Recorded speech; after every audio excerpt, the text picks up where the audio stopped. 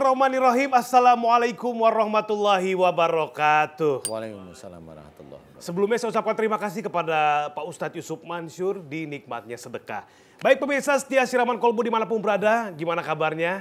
Mudah-mudahan semuanya dalam keadaan sehat walafiat, senantiasa berada dalam lindungan Allah Subhanahu wa taala. Ya. Amin. Senang sekali saya Bobi Maulana bersama Pak Ustadz Danu bisa menemani pemirsa semua di program kesayangan kita di mana kalau bukan di siraman kolbu, sejukan hati. Alhamdulillah pemirsa, masuk lagi di hari Senin, awal lagi kita mulai aktivitas. Pagi hari ini seperti biasa siraman kolbu akan menghadirkan satu tema untuk kita bahas bersama-sama. Terlebih nanti ada tausiah dari Pak Ustadz dan juga dari Pak Ustadz tamu kita. Tema kita pagi hari ini adalah jangan durhaka pada orang tua. Astagfirullahaladzim. Langsung saja temanya, silakan Pak Ustadz tausiahnya. Bismillahirrahmanirrahim. Assalamualaikum warahmatullahi wabarakatuh. Waalaikumsalam warahmatullahi Amin ya rabbal alamin. Alhamdulillah mudah-mudahan pagi hari ini kita senantiasa diberi kesehatan oleh Allah taala.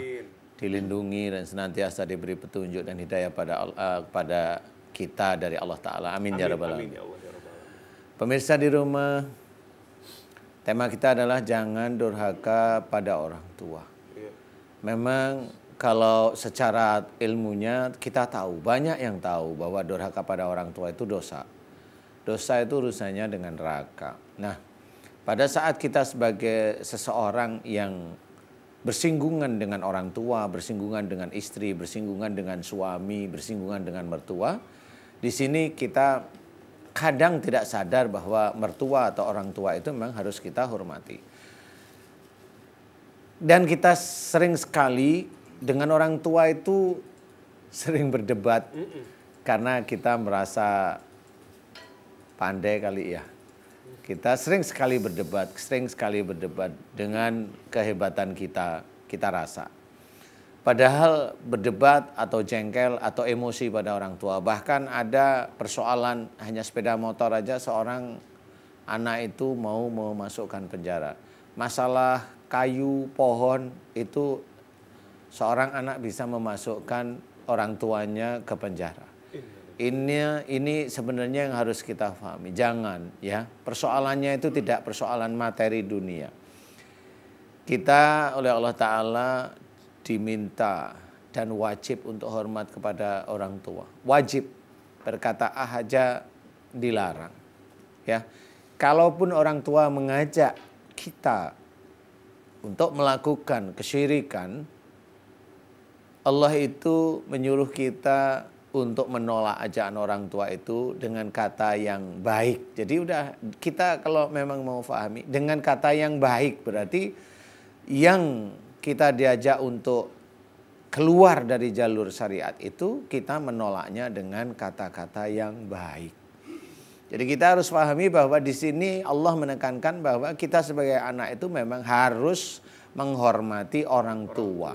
Titik istilahnya.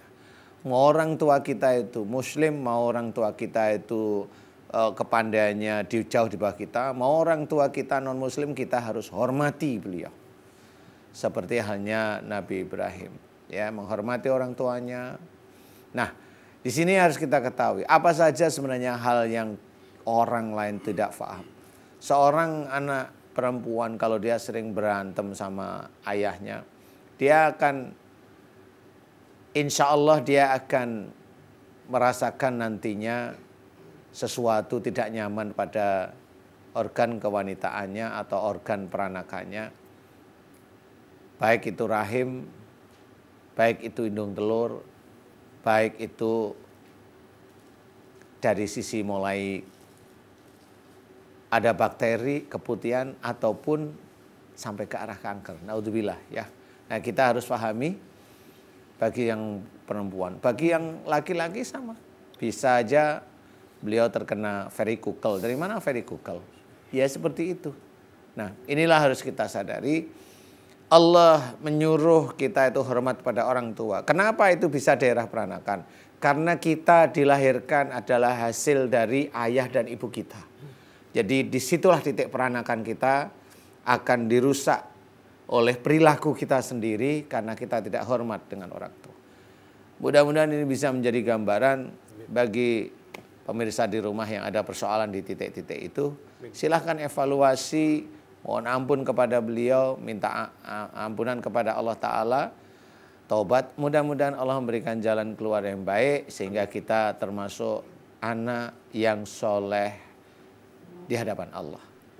Mudah-mudahan menjadi manfaat. Allahu a'lam. Amin. Allah alam. Pak Ustadz, terima kasih atas tausiahnya. Ya pemirsa kita kembali lagi di Siraman Kolbu, Sejukan Hati. Baik pemirsa selanjutnya akan memberikan tausiah kita pagi hari ini sesuai dengan temanya jangan durhaka kepada orang tua. Langsung saja kita persilakan kepada Pak Ustadz Zaki Muhammad. Pak Ustadz silakan. ظهر الدين المؤيد بظهور النبي أحمد يا حنان نبي محمد ذلك الفضل من الله. الله. السلام عليكم ورحمة الله وبركاته. Waalaikumsalam. بسم الله الرحمن الرحيم الحمد لله والصلاة والسلام على رسول الله wala haula wala quwata illa billah amma ba'd yang sama-sama kita hormati dan kita muliakan Al Ustaz Danu, Bang Bobi Maulana beserta seluruh pemirsa Siraman Kolbu di mana saja Anda berada yang mudah-mudahan selalu dalam lindungan Allah Subhanahu wa taala. Pemirsa Siraman Kolbu di mana saja Anda berada, sehebat apa pun orang punya ibadah, pergi hajinya tiap tahun, umrohnya tiap bulan Bang Bobi, puasanya nggak pernah absen, sholat lima waktu nggak pernah ketinggalan, tapi kalau dia durhaka kepada kedua orang tuanya, pasti ibadahnya ditolak di hadapan Allah Subhanahu wa taala. Di dalam Al-Qur'an Allah Subhanahu wa taala telah menerangkan kepada kita. Wa qada rabbuka alla ta'budu illa iyyahu wa bil walidaini ihsana. Pemirsa, ayat ini mengajarkan kepada kita bahwasanya selain kita bersujud kepada Allah Subhanahu wa taala, maka diwajibkan kita sebagai seorang manusia, sebagai hamba Allah yang hatinya kolbun salim wajib berbuat baik kepada kedua orang tua. Pernah suatu saat ada seseorang bertanya kepada baginda Rasulullah, "Wahai Rasul, adakah cara terbaik untuk saya agar saya bisa berbakti kepada kedua orang tua saya akan tetapi kedua orang tua saya telah meninggal dunia?" Apa jawab baginda Rasulullah? Banyak cara kamu untuk berbuat baik kepada kedua orang tua. Mendengar Rasulullah berbicara seperti ini Bang Bobi, ini anak muda pulang ke rumah ambil pacul Bang Bobi. Ngapain? Ternyata dia bangun sumur pemirsa di tepian Masjid Nabawi. Tujuannya apa? Untuk orang berwudhu ketika sholat. Dan pahalanya insya Allah sampai kepada kedua orang tuanya. Hadis ini dikias oleh Al-Imam Asy'ad Ad-Dahlawi. Artinya apa? Kalau bangun sumur aja pahalanya nyampe Bang Bobi, apalagi kita berdoa kepada kedua orang tua kita, pasti pahalanya akan lebih sampai. Pemirsa Siraman Kolbu di mana saja Anda berada, tidak ada tempat terbaik di dunia ini kecuali orang tua kita. Itulah keramat terindah dalam kehidupan kita. Satu senyuman yang keluar dari mulut orang tua kita, insya Allah akan membawa kita masuk ke dalam surga. Tapi ingat pemirsa, satu tetesan air mata, satu kekecewaan juga akan membawa kita ke dalam pintu api neraka. Mudah-mudahan walaupun singkat ada manfaatnya untuk kita semuanya agar kita bisa hidup lebih hormat, bisa berbakti kepada kedua orang tua. Ipin Ipin main di sawah. Tolong maafin kalau ada yang salah. Assalamualaikum warahmatullahi wabarakatuh. Waalaikumsalam warahmatullahi wabarakatuh. Aduh, ada Ipin di pengajian Harusnya kita. Pak Ustadz, kita Iya. tadi bilang Upin Ipin main di sawah. Jangan cakep gitu, jangan. Upin Ipin main di sawah, cakep. Gitu. Baik, Siraman Kolbu menjadi salah satu program yang sangat menegaskan bahwa jangan pernah kita untuk eh, melawan kepada orang tua ya Pak Ustadz ya. Karena banyak sekali efeknya. Mungkin pemirsa juga sudah sering melihat, sudah sering menyaksikan di Siraman Kolbu itu banyak sekali narasumber yang mengalami keluhan yang salah satunya disebabkan karena bermasalah dengan orang tua secara akhlak. Betul. Begitu ya Pak Ustadz ya. Yang mudah-mudahan kita bisa terus memperbaiki akhlak kita, memperbaiki hubungan kita dengan orang tua. Mudah-mudahan Allah meridhoi setiap langkah kita, baik di dunia maupun nanti di akhirat. Amin. Amin. Allahumma amin. Baik, terima kasih Pak Ustadz Jaki.